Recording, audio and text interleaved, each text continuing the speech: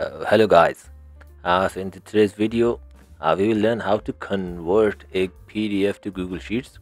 Uh, we will uh, try and do that using 100% free software. So we do not want to purchase any expensive software to do that.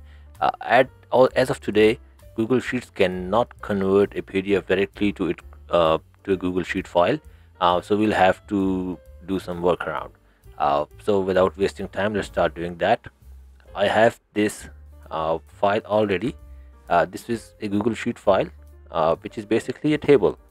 Uh, so uh, this is Google Sheet table and I had converted it to PDF so which I have saved in my laptop.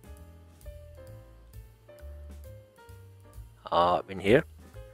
So this is the PDF that I saved from that Google Sheet file. So with this PDF I want to uh, firstly uh, uh, what I will do is I will just convert this PDF file to an Excel file first and from that Excel file I will just convert it back to a Google Sheet file. Uh, so uh, bear with me. I will start this. Uh, I will start doing this now. So first of all what you have to do is you have to open I love pdf.com so this is a free website 100% free uh, it won't charge you anything. Just go to uh, pdf to excel. So here you go. Now it, it is asking me how should i proceed. So i have to uh, select the pdf file here. So when i select the pdf file uh, i can go to the computer uh, to the location in the computer where the file is placed which is right here. I will double click that. And when i double click that it will show a preview of that file and it will ask me whether I want to convert this to a Google, uh, to an Excel file. So I will click OK. Then it will automatically convert that to an editable Excel file and it will tell me or it will ask me whether I want to download that because I, have already downloaded that earlier and I've done it again.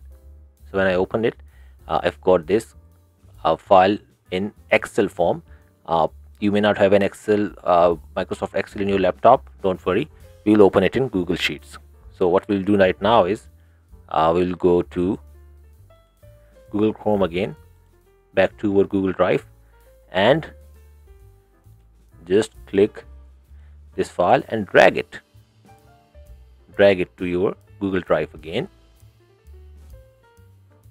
Now when it's when it's done, you can click refresh and the file will come at the very top.